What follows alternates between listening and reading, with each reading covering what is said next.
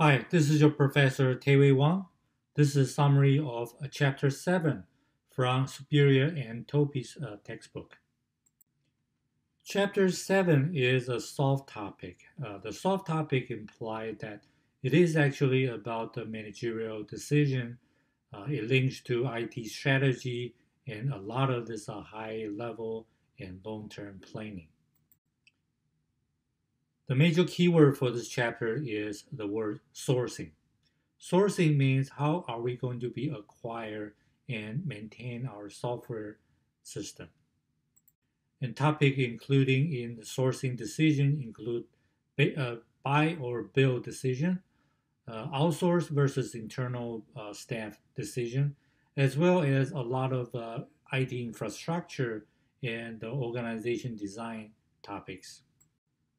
From the systems frameworks perspective, it is part of the earlier stage of the system development lifecycle, but it is also related to the design and implementation of the information system.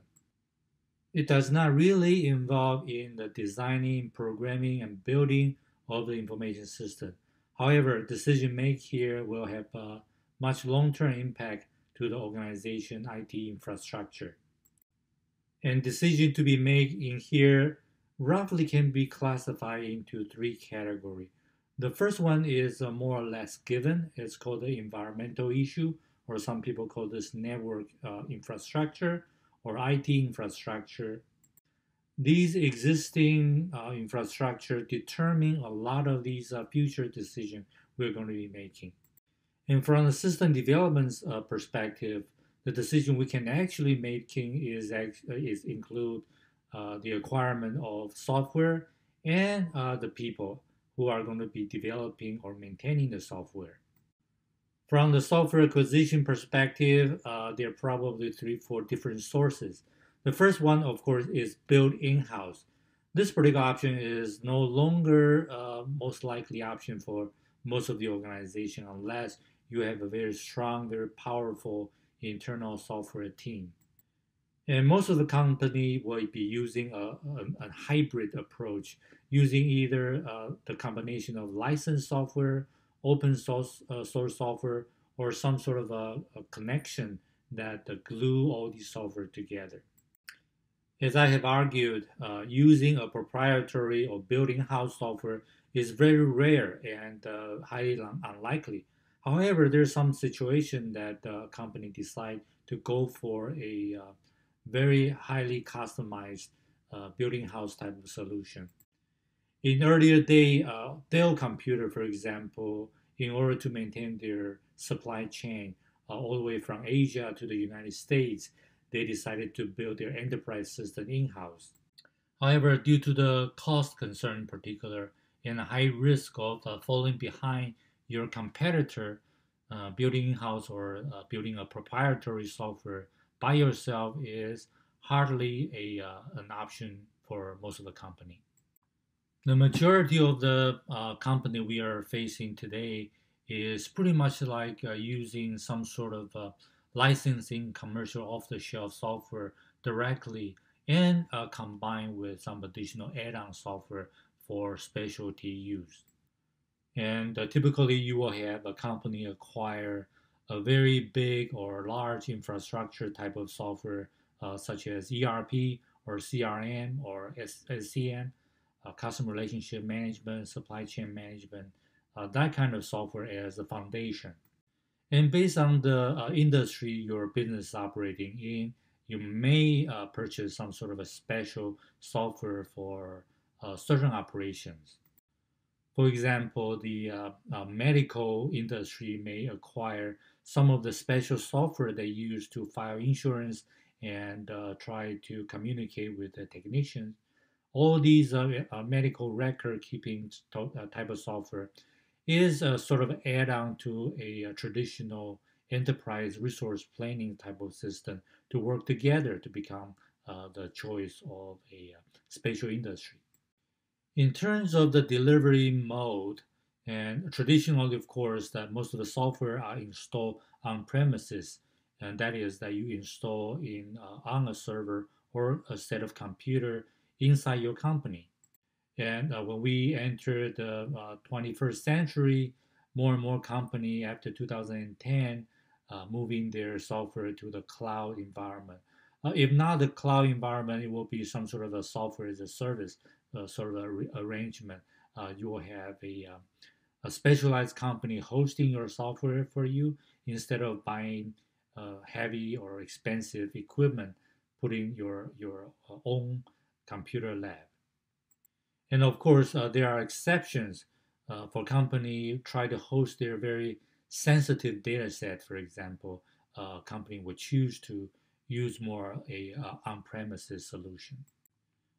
The general trend of uh, software uh, delivery mode is pretty much, uh, regardless of, uh, of what kind of software you're using, all the software are moving to the cloud.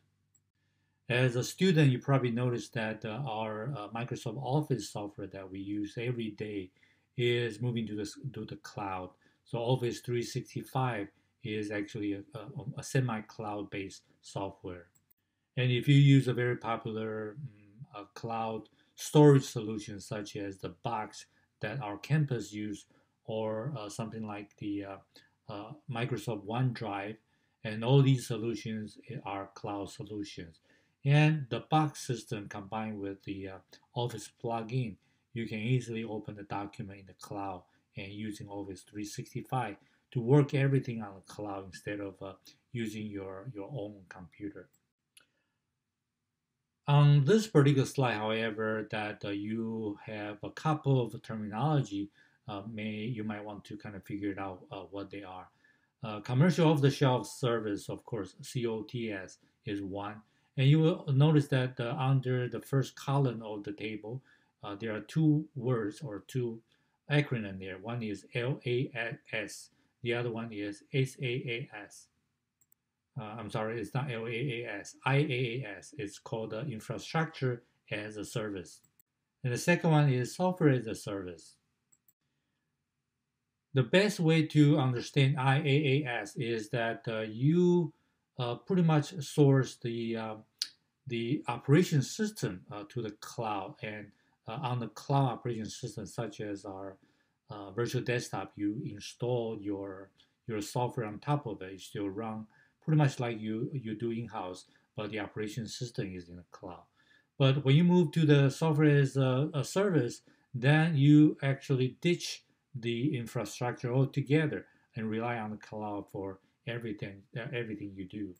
And solutions such as uh, Google Workspace, it used to be called Google G Suite, uh, is one of the example that uh, you log on to a Google environment. Uh, you don't really know what kind of operating system you are using. You just use the software provided by the workspace or G Suite that, uh, that for your company.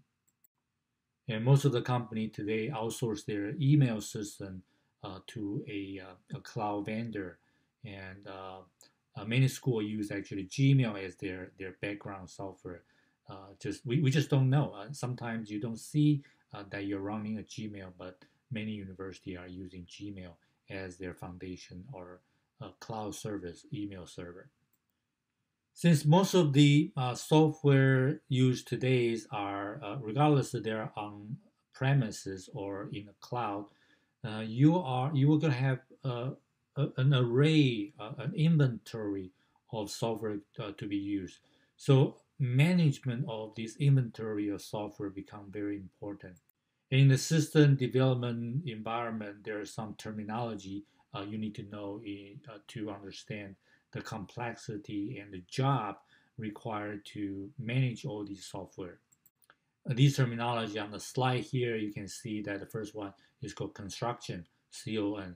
Second one, uh, very importantly, called change management.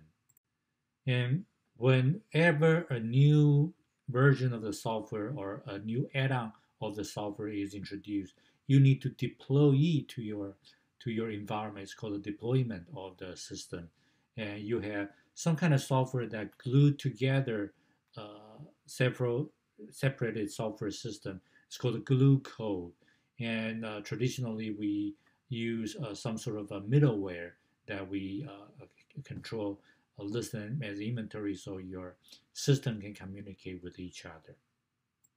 And finally, of course, you have this job of maintenance. Every once in a while, you will see that the IT department will issue this uh, announcement says on Sunday uh, from uh, 12 a.m. to 6 um, in the morning, we're going to be shut down the system to do maintenance. All these maintenance, including uh, uh, putting patch on the software, uh, install update, and backup the database, and that sort of a thing will be part all part of this software solution management job. And when you select the uh, commercial off-the-shelf software, you have to consider uh, why you, why are you using. Uh, most likely, it, it is uh, more much more or less like a, a competitive force that force your company to uh, adopt the best practice and use the software to, in order to compete on the marketplace. And of course, the uh, the cost is an important issue in most of the solution here. And this is one of the uh, phenomena you will encounter when you go into a job uh, place or marketplace. Uh, a particular company usually stick to a particular vendor. Say, for example, if you're using IBM solution, uh, it will be very hard for your company to switch to uh, Oracle or or Google or some other vendor.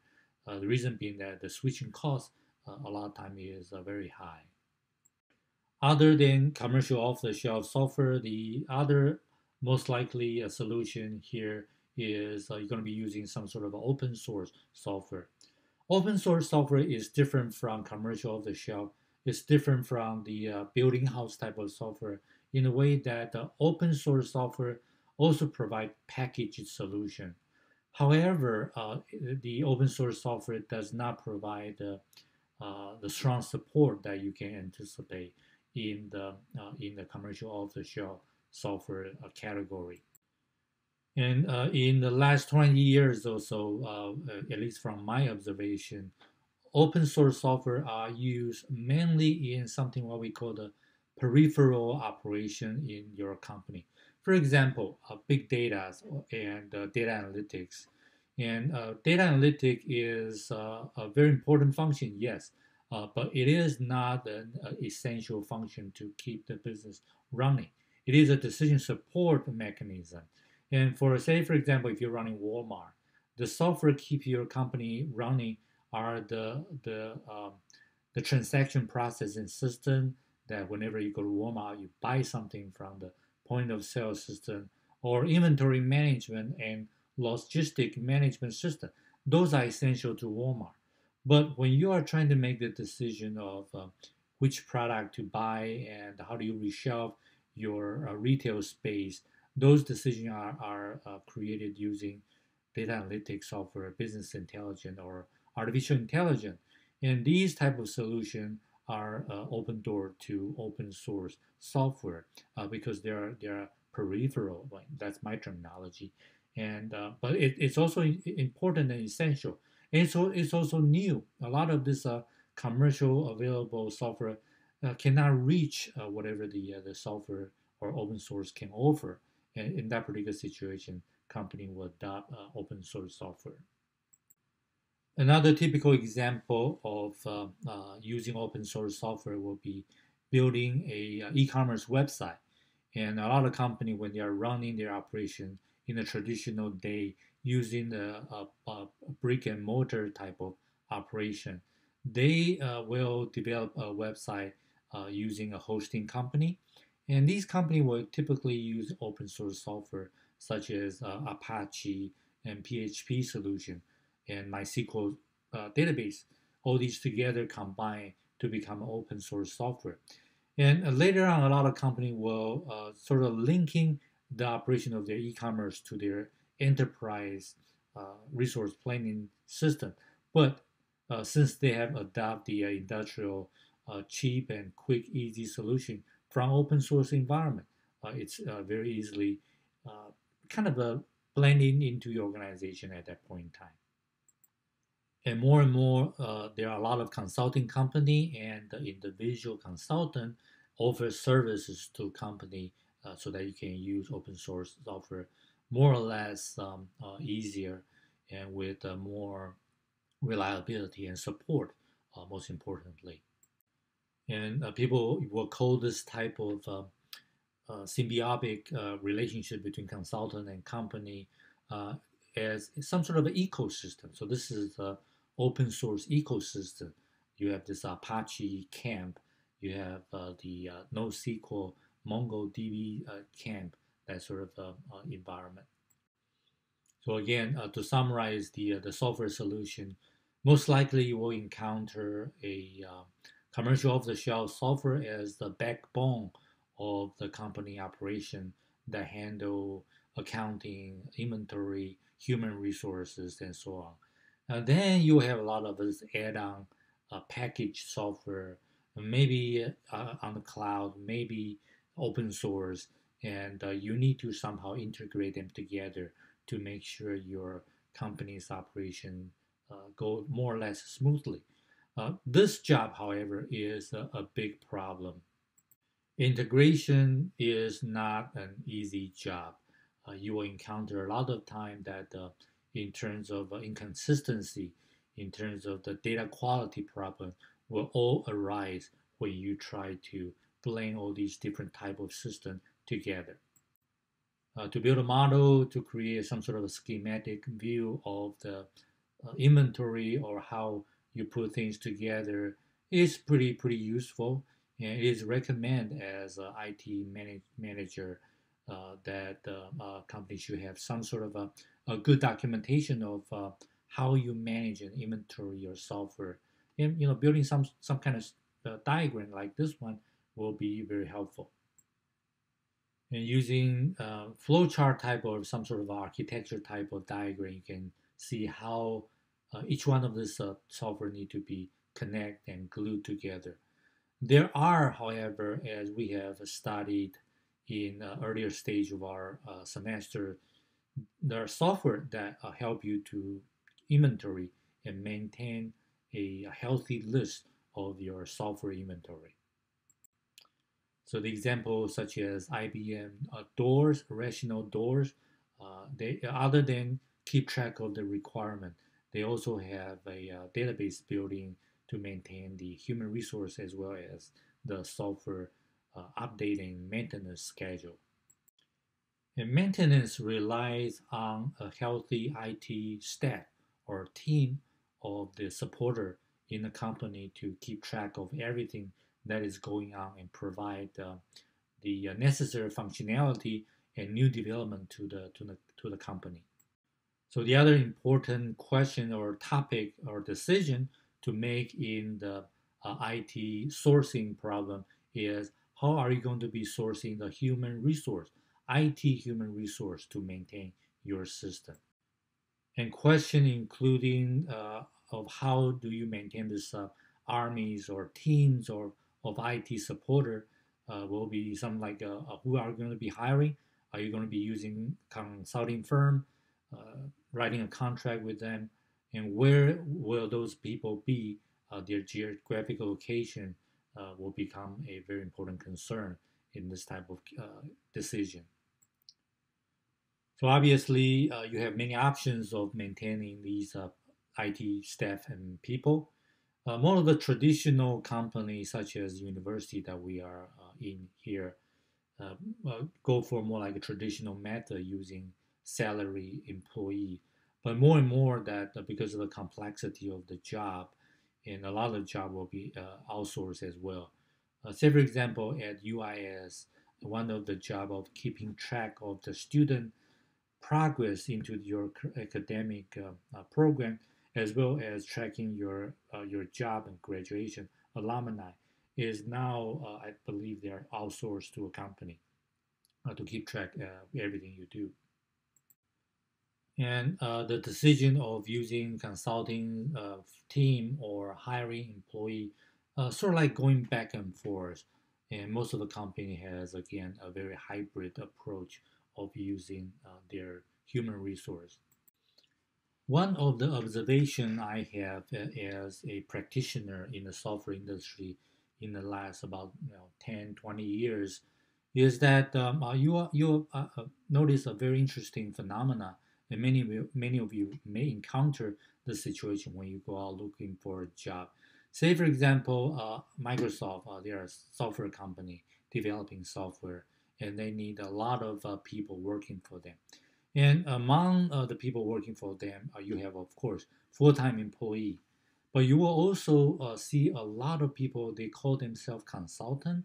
They work 24 hours and, and 12 months a year in Microsoft campus, but they don't belong to Microsoft.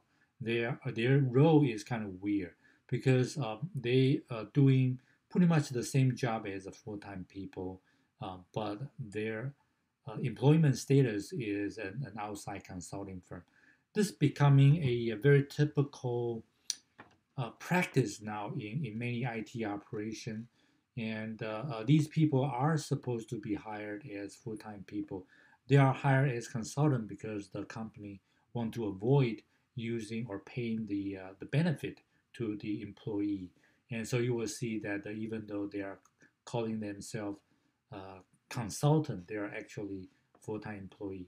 And in a um, typical consulting job, say for example, IBM consulting team or uh, a large software company called uh, EMC Square, and uh, these uh, consulting company, the every every once in a while they have a big project to deploy a software in a company, and these people uh, they form a team, uh, then then go into that company.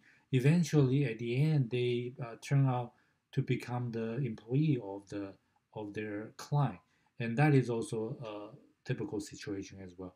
So you will see this um, the the the turnover of the IT staff is very high because the company is trying to uh, be nimble uh, and, and, at the same time and try to maintain a stable force of the of the IT uh, human resource uh, in that regard. So um, you know, just give you some example uh, to uh, to help you understand the complexity of the human resource problem in IT management. And in the category of hiring this uh, so-called contractor or consultants, that arises another another problem uh, from 2000 to 2010 in the United States. that is that you will see a lot of company hiring a consultant from outside of the country, and uh, many of them are uh, off the shore operation. Uh, they will have they will they will be located very near the mainland United States, but not on the mainland United States. The benefit of doing that is they don't need to pay their um, called so-called the the H1 um, uh, immigration visa sort of processing, but at the same time they can uh, near use them nearby, and that sort of uh, operation is is very common as well in the practice we see today. So other than considering you're hiring a contractor, outsource to the entire project to a consulting firm, uh, or you have the, the hybrid method of uh, full-time employee plus the consultant contractor as well as the, uh, the outsourcing firm you also need to consider their physical location, especially if you're running a, uh, a large operation, uh, such as uh, uh one of our uh, recent students hired by Lynx. they have operation in Tennessee, in Nashville, as well as in San Francisco. And so they, they need to consider how to manage their, their employee in different geographic location. And with the uh, the pandemic hitting this year, uh, they also have the problem of uh, their employee spray actually around every corner of the United States uh, to their original homes or try to avoid the cost of uh, uh, renting a, an apartment in the in a big city.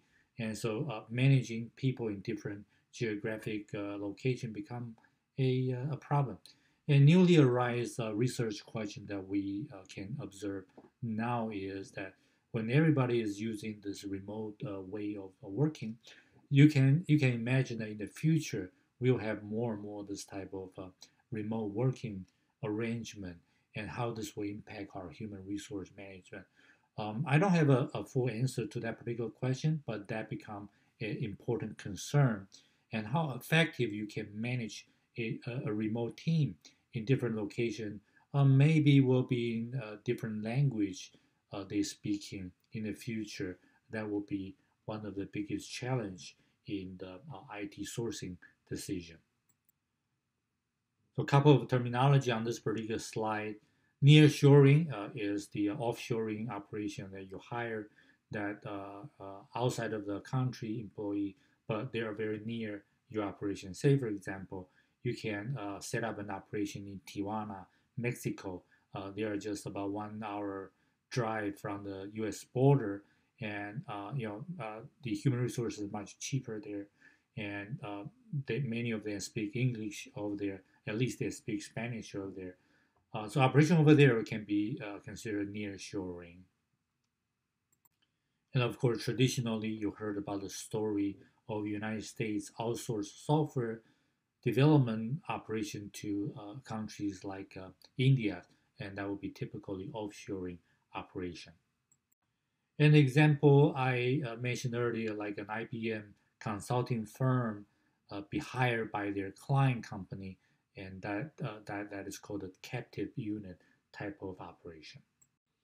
So again, uh, the situation we are facing today in in terms of IT developing teams or software management team uh, is pretty much like a, a, very hybrid, geographically distributed uh, system that uh, you encounter a lot of people working together try to provide the, the service and the maintenance of your software uh, in your operations.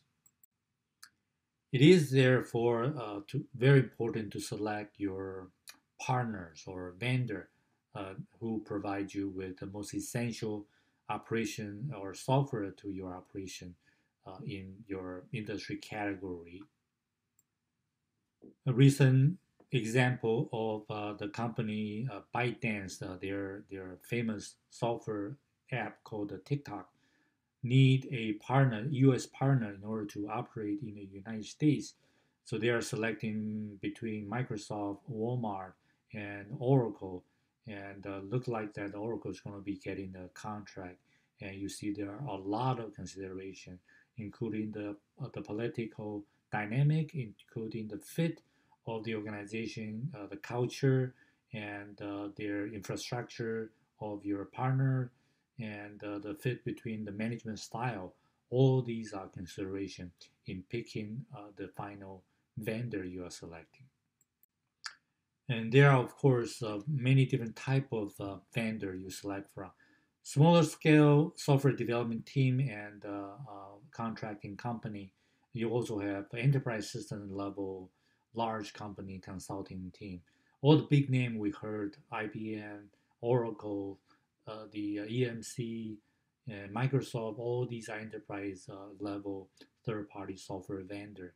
And more and more recently that, that we have a cloud infrastructure provider. So Amazon uh, actually get into the picture.